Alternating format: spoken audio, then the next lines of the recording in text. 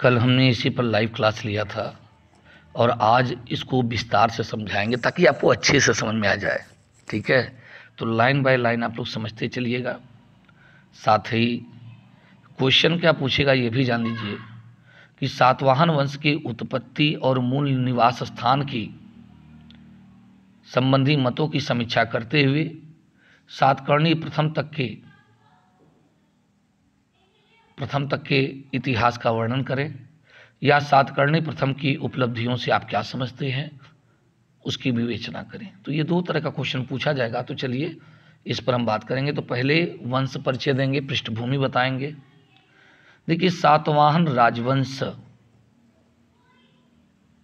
प्रारंभ में मगध के कड़वंश के अधीन सामंत शासक के रूप में कृष्णा और गोदावरी नदियों के बीच के क्षेत्र में शासन कर रहे थे। इस वंश को हम आंध्र भृत्य या आंध्र अथवा सातवाहन वंश के भी नाम से जानते हैं। इस राजवंश की स्थापना शिमुक ने 60 ईसा पूर्व के आसपास किया था। इस सातवाहन राजवंश के बारे में यह कहा जाता है कि यह लोग ब्राह्मण जाति से संबंधित थी। थे, जिनकी राजधानी प्रतिष्ठानपुर, जिसे पैठन के नाम से जाना जाता था, और कालांतर में धान्य कटक यानी अमरावती में स्वीकार की जाती है। इनका कुल शासन वर्ष 60 ईसा पूर्व से लेकर के 225 ईस्वी के बीच में देखा जाए तो करीब दो सौ पचासी वर्ष माना जाता है। इन्होंने वैदिक ब्राह्मण धर्म को, ये लोग क्या थे? वैदिक ब्राह्मण धर्म को स्वीकार करते थे। इस वंश के प्रमुख शासकों में शिमुख सातकर्णी प्रथम, हाल, गौतमी पुत्र सातकर्णी, वशिष्ठी पुत्र पुलमावी, यज्ञ सातकर्णी को, का उल्लेख मिलता है, या प्रमुख हैं। इनकी राजभाषा प्राकृत और राजभाषा जो लिपि थी, वो मौर्योत्तरकालीन ब्राह्मी लिपि थी। इस वंश का अंतिम शासक पुलमावी थर्ड था, जिसका अंतिम समय 225 ईडी माना जाता है। यह राजवंश अपनी मात्र सत्तात्मक राज व्यवस्था के लिए, शक सातवाहन संघर्ष के लिए, अमरावती शैली में निर्मित मूर्तियों के लिए, भाजा और अमरावती स्तूप के निर्माण के लिए बेहद ही प्रसिद्ध था, या जाना जाता है। ठीक है? अब अगर हम बात करें कि सातवाहनों की उत्पत्ति के विषय में तो सातवाहनों की उत्पत्ति के विषय में विद्वानों में मतभेद है। पुराणों के अनुसार इस वंश की स्थापना सिमुख को आंध्र भृत्य या आंध्र जाति कहा गया, जबकि अपने अभिलेखों में इस वंश के राजाओं ने स्वयं को सातवाहन ही कहा है। चलिए इसकी व्याख्या करते हैं, क्योंकि प्राचीन काल में कृष्णा और गोदावरी नदियों के बीच का तेलुगु भाषी जो प्रदेश था, वो आंध्र प्रदेश कहा जाता था। आयतरीय ब्राह्मण में यहाँ के निवासियों को अनार्य कहा गया। उसके अनुसार विश्वामित्र के पुत्रों ने गोदावरी और कृष्णा के मध्य स्थित प्रदेश में जाकर के आर्यतर जातियों के साथ विवाह किया था। तो इस संबंध के फलस्वरूप आंध्र उत्पन्न हुए। महाभारत में आंध्रों को म्लेच्छ, मनुस्मृति में वर्णशंकर और अंत्यज कहा गया। इस आधार पर कुछ विद्वान सातवाहनों को अनार्य या निम्न वर्ण का बताते हैं। लेकिन सातवाहनों के लेखों में हमेशा सर्वत्र उच्च वर्ण का ही उन्हें बताया गया है। अतः केवल पुराणों के आधार पर हम सातवाहनों को आंध्र जाति का नहीं मान सकते। कुछ विद्वानों का अनुमान है कि सातवाहन कुल का नाम है, जबकि आंध्र जाति बोधक है। जी वेंकटराव का विचार है कि उस काल के अभिलेखों में केवल कुल नाम लिखने की प्रथा थी, जैसे सालंकायन बृहत फलायन, विष्णुकुंडिन, पल्लव, गंग, कंदम, चालुक्य, वाकाटक इत्यादि। उसी प्रकार से सातवाहन भी इस वंश का कोई संस्थापक था या इसके कुल का नाम रहा होगा। ठीक है ना? इसीलिए इस वंश का नाम सातवाहन पड़ा। हेमचंद्र राय चौधरी कहते हैं, सातवाहन वस्तुतः ब्राह्मण ही थे। उनके में, जिनमें नागों के रक्त का कुछ समिश्रण था, रक्त का कुछ समिश्रण था। इस वंश के शासक गौतमी पुत्र सातकर्णी को नासिक प्रशस्त में एक बहमनस यानी अद्वितीय ब्राह्मण कहा गया, जिसने क्षत्रियों के दर्प को चूर्ण कर दिया, यानी खतीय दपमान मदनस। खती माने क्षत्रियों के दप माने दर्प, यानी घमंड को, मान माने सम्मान को, मदनस माने जो चूर कर दिया। यदि एक बहमनस और खती दपमान मदनस को संयुक्त कर दिया जाए तो निसंदेह यह सिद्ध हो जाता है कि गौतमी पुत्र न केवल एक ब्राह्मण था, बल्कि वो परशुराम के प्रकृति का ब्राह्मण था, जिसने क्षत्रियों के अभिमान को क्षुण्ण किया था। ऐसा लगता है कि शको द्वारा परास्त होने पर सातवाहन लोग अपना मूल स्थान छोड़ करके आंध्र प्रदेश में जाकर बस गए। इसी कारण इन्हें आंध्र कहा गया और आंध्र जाति विरुद्ध को प्रादेशिक संज्ञा मानना उचित प्रतीत होता है। तो मूलतः देखा जाए तो सातवाहन जो थे, वो ब्राह्मण जाति के ही थे और उनका ब्राह्मण धर्म और संस्कृति की रक्षा के लिए शस्त्र शस्त्र ग्रहण करना तत्कालीन परिस्थितियों में सर्वथा उपयुक्त था। चूँकि मौर्य युग में वैदिक धर्म की प्रतिष्ठा गिर गई थी, क्षत्रिय बड़ी संख्या में बौद्ध बन गए थे, ऐसी स्थिति में ब्राह्मण धर्म की रक्षा के लिए ब्राह्मणों का आगे आना आवश्यक था। और इसी प्रकार की परिस्थितियों में मगध में शुंग और कड़व राजवंशों ने सत्ता संभाली और यही कार्य दक्षिणापथ में सातवाहनों ने किया। रही बात आंध्रों के अनार्य कहे जाने की तो हम जानते हैं कि विंध्य क्षेत्र के दक्षिण में वैदिक काल में जो भी रहता था, उसे दक्षिणावर्त का होने की दशा में अनार्य ही कहा जाता था। लेकिन जैसे ही संस्कृति का विस्तार हुआ और विश्वामित्र के वंशजों के द्वारा जब उनसे संबंध बनाए गए तो ऐसी दशा में उन वंशजों के कारण आंध्र क्षेत्र में रहने वाले लोगों को भी, ठीक है ना, विश्वामित्र भी क्या है, बाद में ब्राह्मण माने गए वर्ण व्यवस्था के तहत, इसलिए इनको भी ब्राह्मण माना जाना उचित प्रतीत होता है। अब चलिए हम बात करते हैं सातवाहनों के मूल निवास स्थान को लेकर के। देखिए, रैप्सन, स्मिथ, भंडारकर जैसे कुछ विद्वान आंध्र प्रदेश में ही उनका मूल निवास स्थान निर्धारित करते हैं। स्मिथ, श्रीकाकुलम और भंडारकर ने धान्यकटक में उनका मूल निवास स्थान माना है।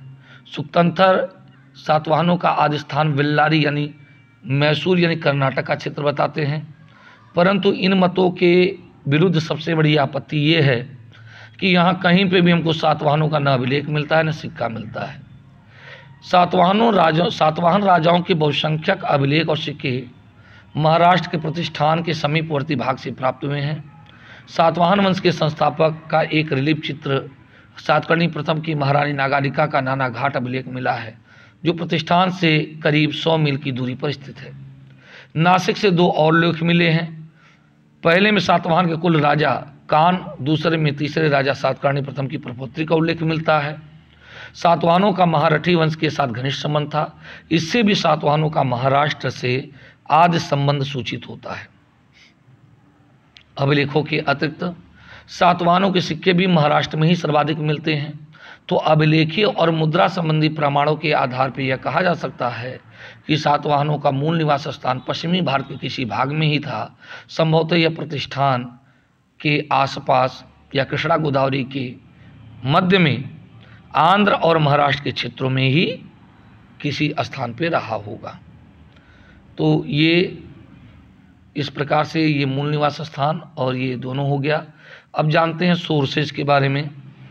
देखिए सातवाहनों के विषय में हमें जानकारी, वायु पुराण, विष्णु पुराण, ब्रह्मांड पुराण, ऐतरेय ब्राह्मण, बौद्धों में आर्य मंजुश्री मूलकल्प जैन जैन ग्रंथों में हेमचंद्र का परिशिष्ट परवण, ठीक है? धर्मित्र साहित्य में हाल का गाथा सप्तशती गुड़ार्ध का बृहद कथा क्षेमेंद्र की बृहद कथा मंजरी, सोमदेव का कथा सरित सागर लीलाबाई, ठीक है ना? लीलावती, लीलवे नहीं है, लीलावती है, सर्ववर्मन का कातंत्र।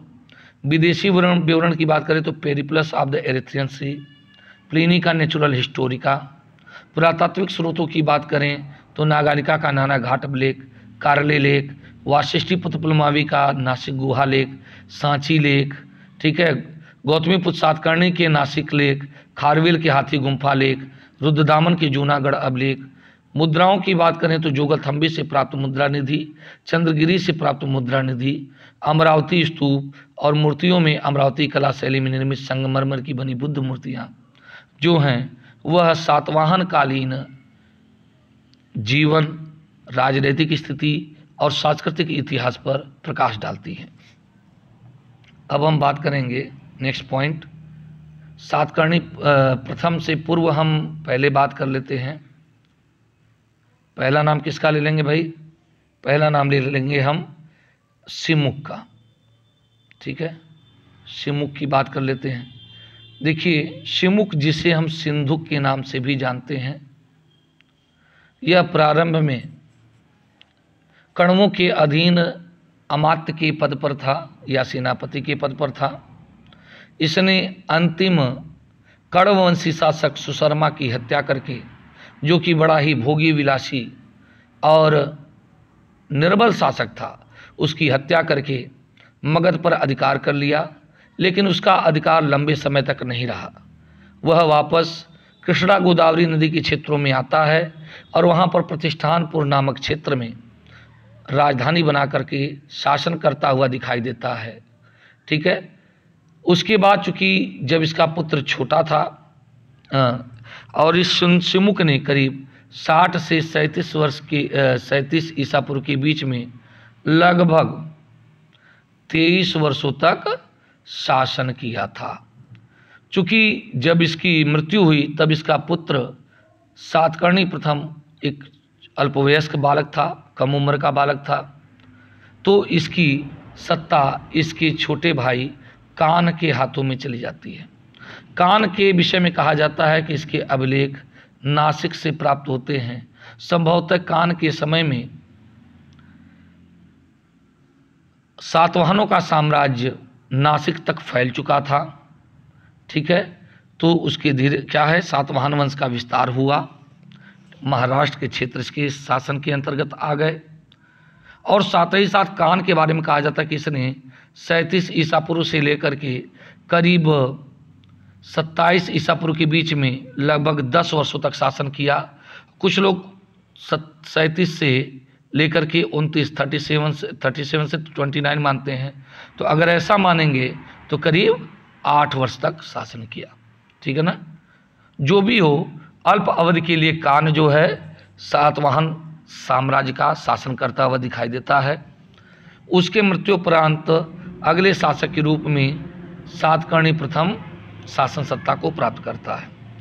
अब सातकर्णी प्रथम की वंश परिचय या सातकर्णी प्रथम का परिचय के बारे में बात करें, शासक परिचय। सातकर्णी प्रथम को सातवाहन राजवंश का वास्तविक संस्थापक कहा जाता है। क्योंकि इस स्थापना का श्रेय तो सिमुक को जाता है। किसको जाता है? इसके पिता सिमुक को जाता है। लेकिन इसने वास्तव में सातवाहन राजवंश की प्रतिष्ठा और साम्राज्य में वृद्धि की, इसीलिए इसे हम रियल फाउंडर कहते हैं। ध्यान रखिएगा, संस्थापक, वास्तविक संस्थापक अलग अलग होता है। इसका पूर्ववर्ती शासक, इसका चाचा कान्ह था।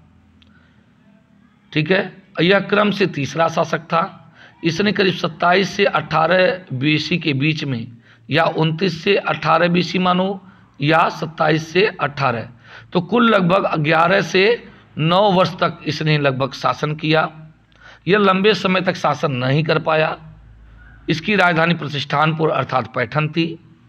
इसके पिता के रूप में सुमुख का उल्लेख और पत्नी के रूप में नागरिका का उल्लेख प्राप्त होता है। इसके संतान के रूप में वेदश्री और शक्तिश्री का उल्लेख नागारिका के नाना घाट अभिलेख से प्राप्त होता है। यह एक वैदिक वैदिक ब्राह्मण धर्मावलंबी शासक था और इसके राज्य की भाषा प्राकृत थी। इसने अप्रतिहत चक्र दक्षिणा पथपति और सातकर्णी की उपाधि धारण किया हुआ था। यह इसने ब्राह्मण धर्म का इसने पोषण किया और सातवाहन वंश का राज्य विस्तार किया था। बाद में इसका उत्तराधिकारी वेदश्री होता है। इसके समय का जो राज चिन्ह था, देखो इसमें लिखा नहीं हूँ, लेकिन लिख दे रहा हूँ। इसके समय का जो राज चिन्ह था वो था उज्जैनी चिन्ह। ये आप लोग देख सकते हो, ये उज्जैनी चिन्ह है। ठीक है? तो इसका राज चिन्ह क्या था? उज्जैनी राज चिन्ह था। तो इस तरीके से आप चाहे तो लिख सकते हैं और बना भी सकते हैं। अब इसके बारे में हम बात करें राजनीतिक उपलब्धियों के बारे में। पहला क्या है? महारटकों के साथ वैवाहिक संबंध स्थापित करना। तो देखिए, सातकर्णी प्रथम ने अपने वंश की शक्ति के विस्तार के लिए सर्वप्रथम महाराष्ट्र के क्षेत्र में निवास करने वाले महारटकों के साथ वैवाहिक संबंध स्थापित किया। इन रटकों का उल्लेख सर्वप्रथम हमें अशोक के तेरहवें शिला, तेरहवें शिलालेख से प्राप्त होता है। ये महारठिक जो थे, प्रारंभ में रठिक कहे जाते थे, लेकिन सातवाहन काल में इन्होंने अपने पद का विस्तार करते हुए महारठिक कर लिया था। तो ये महारठिक सरदार था तृण कैरो, जो कि अंगीय कुल का था, उसकी पुत्री नागरिका के साथ सातकर्णी प्रथम का वैवाहिक संबंध स्थापित हो गया, जिससे उसके राजनीतिक प्रभाव के विस्तार में अवश्य सहायता मिली होगी। और ऐसा कहा जाता है कि कर्नाटक के क्षेत्र में रहने वाले ये जो महारठिक थे, ये सातकर्णी प्रथम की नाम मात्र की अधीनता को स्वीकार करते थे। अब हम बात करेंगे पूर्वी मालवा और पश्चिमी मालवा और विदर्भ की विजय। देखिए, सांची लेख के अनुसार वाशिष्ठी पुत्र आनंद, जो कि सातकर्णी के कारीगर का मुखिया था, उसने सांची स्तूप के तोरण पर अपना लेख खुदवाया था और यह लेख पूर्वी मालवा क्षेत्र पर उसके अधिकार को प्रमाणित करता है। पश्चिमी मालवा पर उसके अधिकार की पुष्टि श्री सात नामक सिक्कों से भी होती है, जो इस क्षेत्र से प्राप्त किए गए हैं। तो सातकर्णी प्रथम ने पश्चिमी मालवा, अनूप और विदर्भ के प्रदेशों की विजय की। संभवतः विदर्भ का उसने विजय सुंगों से छीना होगा और और कुछ समय के लिए विदर्भ को अपने नियंत्रण में भी रखा था। कल्याण बंदरगाह पर शकों से सुरक्षा। देखिए, ऐसा कहा जाता है कि इसके समय में शक और सातवाहनों के बीच में संघर्ष की शुरुआत हुई। और संभवतः इसका समकालीन शासक मेंबर्स था या कोई भी अन्य शासक रहा होगा। कहते हैं कि उनके आक्रमण बार बार कल्याण की बंदरगाह पर होता रहता था और यह कल्याण बंदरगाह सातवाहनों के अधीन थे। तो उनको खदेड़ने का कार्य सातकर्णी प्रथम ने किया था। तो कल्याण बंदरगाह यानी महाराष्ट्र का जो पश्चिम तटीय इलाका है, वह भी क्या था? सातकर्णी प्रथम के अधीन था, रहा होगा। खारवेल के साथ राजनीतिक स्थिति। हाथी गुम्फा लेख से पता चलता है कि अपने राज्यारोहण के दूसरे वर्ष खारवेल ने सातकर्णी की परवाह न करते हुए पश्चिम की ओर अपनी सेना भेजी और यह सेना कण्ववेड़ा यानी वेनगंगा नदी तक आ गई थी और अशीक नगर में आतंक फैल गया। और यह स्थान सातकर्णी के ही अधिकार में था और यहाँ की खुदाई से हाल ही में सातकर्णी का हमें सिक्का भी प्राप्त होता है। तो ऐसा लगता है कि सातकर्णी ने खारविल को प्रबल प्रतिरोध किया, जिसके फलस्वरूप कलिंग नरेश को वापस लौटना पड़ा होगा। ठीक है? तो कुछ समय के लिए खारवेल के द्वारा इस क्षेत्र पर विजय हासिल की गई होगी, लेकिन वह एक धावा मात्र था। अगली बात हम करेंगे वैदिक धर्म का संरक्षण। देखिए, इसने दो अश्वमेध यज्ञ किया था और एक राजसु यज्ञ किया था। तो इस प्रकार से यह भी वैदिक धर्मावलंबी था और यज्ञ परंपरा इसके काल में भी विद्यमान था या प्रचलित रहा। कहते हैं कि इसने अपनी पत्नी के नाम पर कुछ चांदी के सिक्के भी जारी किया था, जिस पर अश्व का अंकन मिलता है, जो उसके अश्वमेध यज्ञ की पुष्टि करते हैं। ठीक है? तो इसने क्या किया? वैदिक धर्म को बढ़ावा देने का प्रयास किया। अब अगली बात करें सातवाहन रजत सिक्के का प्रचलन करता तो कहते हैं कि सातवाहन रजत सिक्के के प्रचलनकर्ता के रूप में हम सातकर्णी प्रथम को देख सकते हैं। इसने अपने नाम से से सात नाम से सिक्के चलवाए थे और अश्वमेध यज्ञ के बाद उसने अपने पत्नी के नाम से कुछ रजत मुद्राएँ उत्कीर्ण करवाई थी, जिस पर अश्व का अंकन मिलता है। तो ऐसी दशा में जो सातवाहन राजत सिक्कों का प्रचलनकर्ता के रूप में हम सातकर्णी प्रथम को स्वीकार कर सकते हैं। इसके अलावा इन आ, इनके द्वारा तांबे ठीक है तांबे के पोटीन के और सीके शीशे के सिक्के भी जारी करवाए गए थे। ठीक है अब बात करते साम्राज्य विस्तार की। तो सातकर्णी प्रथम ने पश्चिमी मालवा अनूप नर्मदा नदी घाटी और विदर्भ के प्रदेशों की विजय की। विदर्भ उसने शुंगों से छीना और कुछ समय के लिए अपने नियंत्रण में भी रखा था। महारठकों के कुछ सिक्के उत्तरी मैसूर से मिलते जिससे पता चलता है कि वे काफ़ी शक्तिशाली थे, पर नाम मात्र के लिए साथ करने की अधीनता को स्वीकार करते थे। संपूर्ण मालवा क्षेत्र उसके अधिकार क्षेत्र में था और पूर्व की ओर राज्य कलिंग की सीमा को स्पर्श करता था। उत्तरी कोंकण और गुजरात के कुछ भागों को जीतकर उसने अपने राज्य में मिला लिया था। पेरिप्लस से पता चलता कि एल्डर सैरागोन गोनस एक शक्तिशाली राजा था।